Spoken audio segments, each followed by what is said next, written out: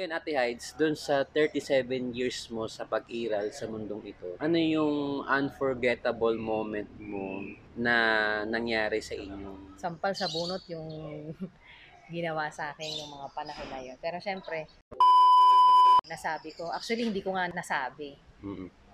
Kinumpronta nila ako na ganun nga na Hello mga kakulitan.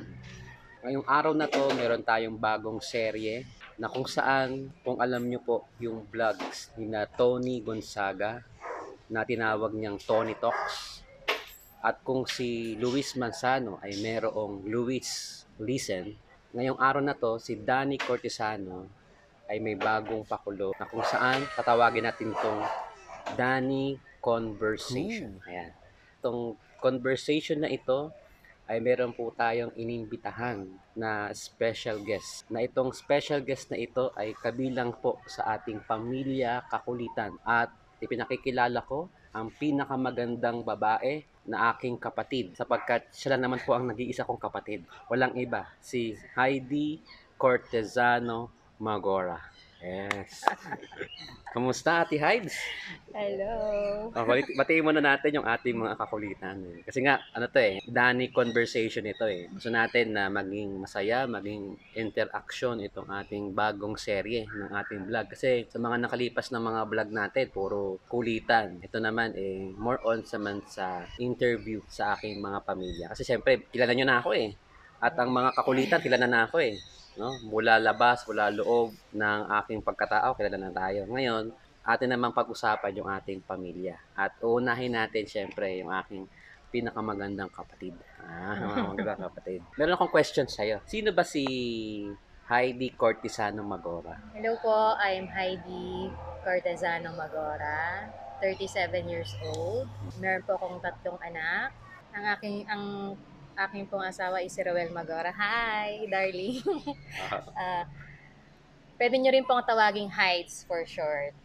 Ayun, Ate Hides. Kasi syempre, marami kasing mga nagtatanong, mga kakulitan, kung sino ba talaga sa amin ang mas mas naunang pinanganak. Ngayon, sinasabi nila na ako daw ang nauna. Pero ano ba talaga totoo?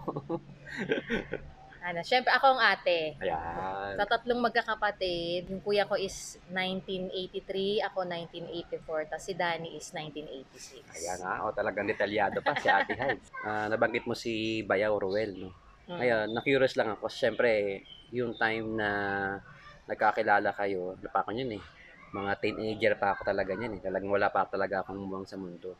Ngayon, kwento mo naman sa amin yung ano ba ang naging journey niyo ni ni Bayaw Roel. 2003, nung magkakilala kami sa church, Hmm. then syempre, ah, nagka, nagkagustuhan. Ah, 2003, 19 ako noon. Na, ayun, ah, nagkain laban. Then, ah, dumating sa point na nabuntis ako ng maaga, 19. 20 ako nung pinanganak ko yung panganay ko. Ah, ito ito yung si ano no, si Elise na to. Ah, si- Elise Daniel Magora. Ito yung panganay mong anak. Ngayon, ano ba yung mga bilang mag-asawa, bilang kay Bayaw Roel, ano yung patingin mo na naging experience ninyo or naging buhay ninyo mag-asawa nung kayo ay magkaroon na ng unang anak niyo? Sa una, syempre, mahirap kasi batang-bata ako nung mga panahon na yun eh. Hindi pa talaga dapat kung tutuusin. Pero buti na lang, andyan sila, mga magulang ko, mga mga ibang kamag-anak na tumulong. Then, may trabaho naman si Rowel nung time na yon pero syempre hindi sapat. No? Ako rin nag-work din ako sa isang mall. Nung nalaman mo nung 19 years old ka, Ate Hyde, na ikaw ay nagdadalang tao, anong unang pumasok sa isip mo at ano yung unang naramdaman mo? Syempre, ano yun, eh, mixed emotions yun. Batang-bata ako no. Takot, kaba. Di alam ng nila mama na buntis nga ako nung time na yon. Five months na nung nasabi ko. Actually, hindi ko nga nasabi. Mm-mm. Kinumpronta nila ako na ganun nga na buntis ka ba, ganyan-ganyan. Ay sabihin talagang ano ka, talagang kung maaari, dililihim mo talaga. Nililihim ko pa kasi hindi ko alam kung paano ko sasabihin. Okay. Ayun, kinumpronta nila akong dalawa. Kung buntis, sabi ko, oo, yan. yan, yan. Nag-anuhan yung dalawa, si mama at si papa. Yan, sabi ko sa'yo, eh, buntis yan eh. Sabihin, may kasamang takot Mm. at may kasamang, siyempre, first baby mo to. May kasama rin saya, di ba? Tama ba? Ah. Kasi pagka first talagang anak eh. Kaya lang, nangibabaw yung takot. Dahil nga dun sa pag nalaman ni mama na buntis ka, eh alam mo na ang mangyayari. Lalo na, teenager, teenager pa lang tayo noon. Maray tayo niyan. Eh ano nangyari nung ano? Kinumpronta ka ni mama at nakumpirma niya, ikaw ay buntis. Anong ginawa sa'yo? Sampal sa bunot yung ginawa sa akin yung mga panahon na yun. Pero syempre, bilang magulang, parang nahihiya sila kasi ano sasabihin sa ng mga tao, ganyan. Mm. Aga na buntis ng anak nila. Mm, Nag-iisa, unika iha. Okay. Ayun. Tapos ang problema pa, hindi pa nakapagtapos ng Mm. kolehiyo, pinag-aaral, tapos ang ginawa, meron pa, meron pa, naglanди pa.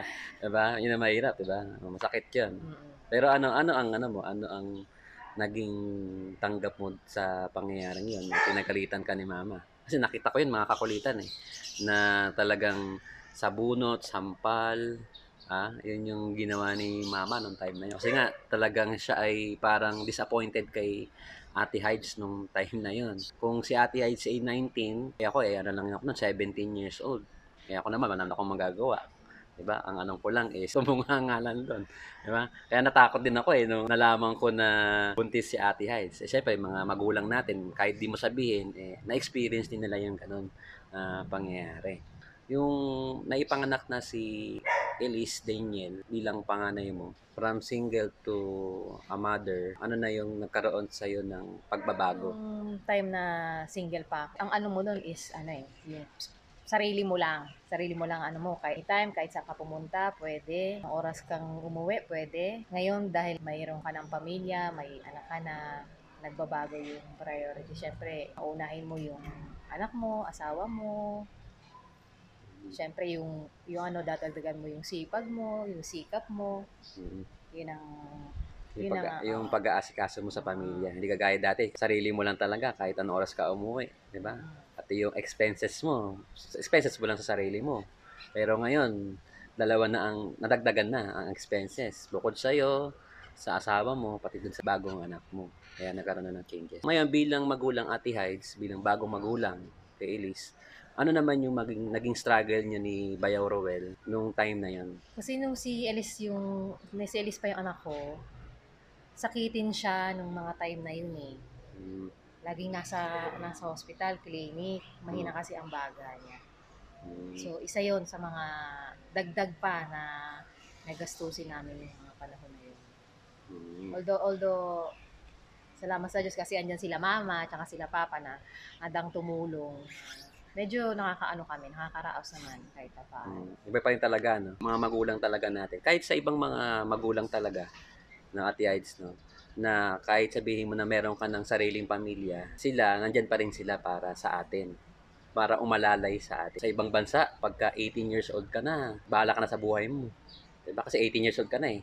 Pwede ka na lumaya sa pamamahay o pwede, mo nang gawin yung gusto mo. Pero sa Pilipinas, ito yung mas maganda sa atin na kahit na pamilyadong tao ka na, pero pagka nangangailangan ka, nandyan yung ating mga magulang. Kaya palakpakan natin yung ating mga magulang dyan out there. At sa mga nakikinig po ngayon, mga dalaga at binata, at may mga asawa na, na nandyan pa rin yung mga magulang. Sana pasalamatan nyo po yung inyong mga magulang na tumutulong sa atin. Kagaya sa amin, si Ate Hides particularly, na, ano nyo ha, pinagkakasya na nga yung ah, kita para sa pang-araw-araw. Eh, dumating, yung dumating yung panahon na magkasakit si Elise. Eh, syempre, nung time pagka mga bata kasi ate Ice, di ba? Ano, yung pagka bata, medyo mahal ang ano yan, mas mahal ang gastusin, tama ba? Pero pagka matanda, medyo mild lang. Pero pagka mata- mga bata, talagang medyo mahal. Ayan. Ngayon, hindi nagkaroon ka na ng struggle. Pero alam ko, hindi ka pa rin nadala, di ba? hindi ka pa rin nadala. Uh, ano ba kwento mo sa amin? Ano, ano ba ang next scenario? Bukod kay Elise, ano na nangyari? 2004 nung pinanganak ko si Elise, Ah, 2007, ayun na, hindi na ako nadala. pinanganak ko naman si Eliza. ayan, Eliza Eliza. Dewell. ayun. Ayan. Kasi dati, yung naraman ko na nanganak siya uli, si Eliza Dewell, sabi ko, ah, saan galing yung ano, yung Eliza okay na, galing kay Brother Eli, di ba? Kay Brother Eli sa Eli. Sabi ko, yung, eh yung Dewell, saan galing yun? Sa kakala ko nga, devil. Inex sa'yo niya, "Wa, paano nga yan, di? Heidi sa D, tapos yung Well, Ruel. Ayun, Dewell. Kaya, yung- kaya yung lumaki na yung si Eliza, sabi ko, kaya ang tawag ni Ate Hides, eh, Dewell. Diba, Dewell ang tawag mo, diba? Mm, Tawag Dewell. Sabi ko, ano yan, devil? eh, pagka, pagka sinabi ko, oh, devil ka pala eh. Hindi, tito, Dewell. Ayan. Kaya bukod sa, ano, yung mga magagandang moments, siyempre, nagkaroon ka na ng babae. And then, sumunod, dahil nga, hindi pa rin tayo nadala, ayan, nadagdagan na naman tayo ng pangatlo. Ano naman itong pangatlong ito? Ah, 2009 naman. So, parang 2 years gap.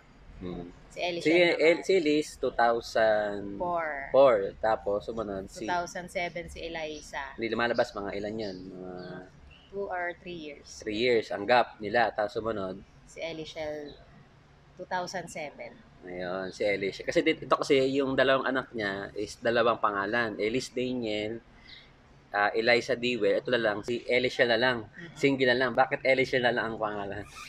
Kasi na pag-isip-isip ko nung nag-aaral si Ellie tsaka si Eliza, nahirapan silang magsulat ng Ah, ganun ba? pangalan. Ah, tapos, ano nangyari? Kaya sabi ko sa pangatlo, isang isang ano na lang, isang pangalan na lang para hindi mahirapan yung bata. Ayun. Kaya naging Ellie Shell na lang. Oo. Ellie Shell. Pero para dalawa rin yun. Ellie saka Shell, no? Pero magkasama siya. Ellie Shell. Ngayon, medyo maiksi na. Ellie Shell, alam mo na ang istorya ng iyong pangalan, no? Dahil nahirapan yung kuya at ate mo doon sa pagsusulat. Di ba? Ngayon, Ate Hides, doon sa 37 years mo sa pag-iral sa mundong ito, ano yung unforgettable moment mo na nangyari sa inyong pamilya? 2013, ah, nasunugan kami Hmm. Saan, saan to banda? sa Makati, sa Sembo. Hmm. Ito ba yung ano? Ano pang lugar yan? Yung Makda. Ah, Macda. tinatawag. Yung Macda is, ano to? Anong lugar ito? Anong, saan lugar to sa Makati? Ano siya eh, parang professional squatter. Ah, Ah, ako yun ah. May, meron palang ganun Oo, na squatter pero mga professional. Professional squatter. Okay, professional squatter na mat- magagaling talaga mag-squat ito. Oo. Ayan, ano nang ano ang nangyari din sa Ayun. kwento mo sa amin? Yung time na yon na dumadalo kami sa church, Hmm. Bigla na lang eh, may tumawag sa church na yun nga nasusunog nga daw yung Lugar yung Macda. Makda na yun. So, noong una, di pa namin pinapansin. Pero sabi ko, parang nawala si Ruel ah. Parang yung pala bumaba na pala siya. Yun nga nasusunog na. Sunog na. Kasi yung part ng likod ng bahay is mga kahoy. So, mabilis ang pagkalat ng apoy. Although, nasa third floor kami at bato naman yung ano, eh, yung hangin kasi ay ano, so pasok pa rin. Wala eh, ang, yung ano namin, wala as in, wala talagang natira. Sunog lahat. Hmm. Wala. Kung ano yung damit namin nung time na yun, yun lang yung dala-dala namin. Wala kami na naisalbang kahit ano. Pero yun yung unforgettable talaga na talagang hindi mo makakalimutan. Ang good news naman sa atin is ligtas kayo nung nangyari. Kasi gabi to, di ba? Gabi to na nangyari. Kasi pagka, tandaan nyo guys, kapag ka daw ang sunog nangyari sa gabi, malaki ang chance na maraming mapahamak eh. Kasi gabi, hindi mo makita. Compare sa umaga, no? Ito, nangyari to gabi. At the same time, wala kayo doon sa pangyayari na yun. Siyempre, pagliligtas pa rin ng Diyos yun sa atin. balita ko nga nung ano yun, kasagsagan na ng tulog. Kaya yung nagka, nagsumisigaw na daw yung mga kapitbahay na sunog-sunog, alimpungatan na. Kaya halos wala, yung mga yung mga nasunugan doon halos talagang walang naisalba kasi ang bilis ng mga ng pangyayari talaga. Mhm. Nagputok-putukan na yung mga gas eh. para sa idea ng mga kakulitan, ano to eh, itong Macda is ano to eh, papasok pa to sa looban, di ba? Mga, kasi to, mga bahay. kung ikaw ay dumadaan sa Guadalupe, ano to eh, takbuhan ito ng mga snatcher eh, doon, doon sa looban na yun, yung mga lugar na yun. Kasi nga, ah, professional squatter nga yun, and then nasunog pa. No? Kaya yung time na yun, sino yung unang tumulong sa'yo para maka-recover dito sa pinaka-unforgettable moment mo ng buhay mo? Yung magulang pa rin. Sila mama at si papa pa rin. yung Unang tumulong. Then, kayo nga. Mm. Kayo. Tapos yung mga kamag-anak natin sa abroad, Mm. mga yan, sa MCGI, Yes. isa rin yung sa malaking tumulong sa amin mm na yun. Oo nga, kasi nga, yung nabalitaan namin na talagang zero. Kasi actually, yung time na yun, pumunta pa kami dun sa bahay. May, may picture pa nga kami ng mga pamangkin kong time na yan eh. Na nag-school, kailangan na ng gamit. Eh, birthday pa yata ni Elise na, no? Noong June 15. And then, syempre, nagbigay tayo ng konting regalo. Yung pati yung binigay natin, nasunog din, di ba? So, kaya parang malungkot din ako nung time na yun. Kaya nung nalaman ng buong angkan ng Cortesano, eh, nung nangyari kay Ate Hides, eh, may mga talagang tumulong. At sa part ni Papa, ayan, may mga nagbigay sila ng tulong kay Ate Hides. At the same time, naalala ko pa nga nun, sabi nga ni Ate Hides, kung ano yung suot nila, yun lang yung nailigtas nila. Kaya sabi ko, meron kami mga damit na pwede pang magamit kasi syempre magka-size naman sila ni Madam time na yon. Ako naman, magkasing size kami ni Bayaw noon, di ba? Tama ba ako? Ngayon, pati yung brief ko guys, no? Talagang pinatos ni Bayaw nung time na yon. Kasi nga, pati brief, siguro yung brief niya ngayon, tutong na yun eh. Yung bake, kahit ko na talagang pinatos pa ni Bayaw na yon, di ba? Kasi dito, eh, kahit may malungkot na bagay, may mga senaryo talaga na kailangan talaga natin tumawa pa din kasi normal naman talaga yun sa buhay ng tao na darating at darating na may mga pagsubok, 'di ba? Siyempre, sa atin, di ba, Ate Hides, ano yung naging aral sa'yo na sa kabila ng may mga ganong mga pangyayari, nandito pa rin tayo. Ano yung nagiging motivation mo? Bakit sa kabila ng maraming mga problemang ganyan, na hindi mo makakalimutan, ano yung nagiging push sa'yo? Bakit nagpapatuloy pa rin? Siyempre, ang ano natin is yung awa ng Diyos. Hmm. Sa kabila ng hirap, kailangan pa rin natin magpatuloy sa buhay. Hmm. Kaya syempre, pag wala naman talaga ang Diyos, talagang wala naman talaga. Hindi naman talaga natin kaya, di ba? Talaga mahirap yun. Eh, tanong nyo naman guys, sabi nga nila, mabaha ka na, okay lang. Pero pag ikaw ay nasunugan, ako po, napakahirap po. Sino po ba dyan yung mga nakaka-relate dyan na talagang zero? Tapos bukod nasunugan ka ng zero, meron pang namatay. Meron pa nga ako nabalitaan, yung anak pa nga niya. Dahil nga may puro kahoy, tapos yung bintana, puro bakal. Yung magulang, pati siya, sunog. Diba? Hirap, diba? Mahirap tanggapin na may masamang mahal mo sa buhay na masunog. Pero isa sa pinagpapasalamat natin sa Diyos na walang sa family ninyo na nawala dahil dun sa nangyaring sunog. Diba? Kaya ipinagpapasalamat natin sa Diyos yun. Yung nangyaring ganon na hindi mo makakalimutan Ate Ice, anong ginawa mong way na kayo ni Bayaw para makabangon? Bukod sa may tumulong sa syempre ano lang yun, para lang maisalba yung mga ibang mga mapambili nyo ng gamit, yung mga ibang mga bagay. Syempre, alam ko, kulang pa yun, ba? Yung time na yun kasi, si Ruel, may trabaho naman siya that time. So, bumalik lang siya. Medyo mahirap kasi syempre nag- nagsisimula ulit sa simula. Mm-mm. So, yung time na yun, nag-sideline sideline ako maglaba, mag Mhm. maglinis ng bahay sa inyo nga. Ah, oo nga, naalala ko nga yun. Tapos, that time, hinalok mo nga ako na, bakit hindi ka pumasok? doon sa trabaho na yun, na ino. Kasi nga, ta- alam nyo guys, nung time na yun, kasi si Ate Heights, kung bibigyan mo siya, gusto niya yung pinaghihirapan niya. Diba? Kaya sabi ko, sige, kung ayaw mo tanggapin to, di pwede kang gumagawa sa bahay, kahit man maglinis o maglalaba. Kaya ang mangyari niyan, kahit kalahating araw lang, ano doon, sahod ni Ate Heights, mga, ano, na, mga above minimum. Diba? Siyempre, gusto natin makatulong doon sa nangangailangan. Yun yung number one na ano natin. Mag-comment nga po kayo kung nagugustuhan nyo po yung storya ni Ate Hides dito po sa Danny Conversation. At syempre, huwag nyo kalimutan mag-like, diba? Isama rin natin Ate Hides, no? Nung ikaw ay umibig, and then nanganak, ng tatlong anak, at the same time, na-experience mo din na masunugan. And then ngayon, dahil nga nagkaroon na naman tayo ng isa pang pangyayari sa buhay ng sangkatauhan, itong pandemic. Ano naman yung naging maganda at hindi magandang pangyayari? Itong dinaranas nating pandemic, two years ago na, Mm. sa simula talagang parang ang hirap kasi walang labas, lahat nasa loob, walang trabaho, tigil trabaho. So parang nagkaroon ako ng thinking na magbenta online.